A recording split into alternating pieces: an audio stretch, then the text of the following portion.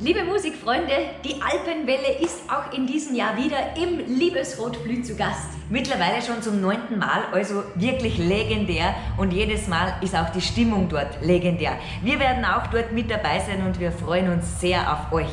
Also bis bald bei der Alpenwelle im Liebesrotflü. Eure Sigrid und Marina.